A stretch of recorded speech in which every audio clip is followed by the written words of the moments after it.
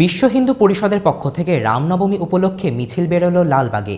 বিভিন্ন এলাকা পরিক্রমা করে এই মিছিল। মিছিলের নেতৃত্বে ছিলেন বিজেপি জেলা সভাপতি গৌরীশঙ্কর ঘোষ।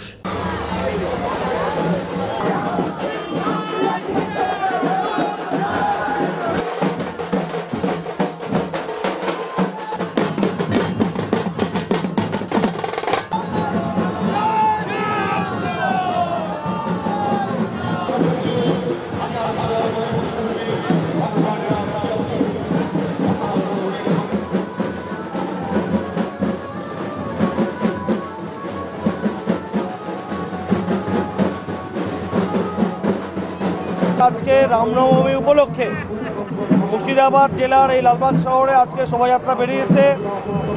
এখানে বিভিন্ন সংগঠনের লোকজন এসে একসঙ্গে রামনবমী উদযাপন কমিটির ব্যানারে আমরা আজকে মুর্শিদাবাদ শহরে শোভাযাত্রা বেরিয়েছি মানুষকে সচেতন করার জন্য। সারা বাংলা জুড়ে অশুভ শক্তির বিনাশ ঘটানোর জন্য। বাংলার বিভিন্ন প্রান্তে যেভাবে শোভাযাত্রা বেরোচ্ছে, ঠিক সেইভাবে আজকে এই মুর্শিদাবাদ শহরেও আমরা শোভাযাত্রা বের করেছি।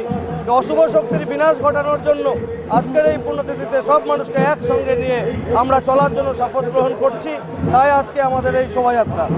যদি মধ্যবঙ্গ নিউজের এই খবরটি ভালো লেগে থাকে, তাহলে অবশ্যই একটি লাইক দেবেন এবং ইউটিউবে ইমার্জেন্সি টিভি চ্যানেলটি সাবস্ক্রাইব করবেন।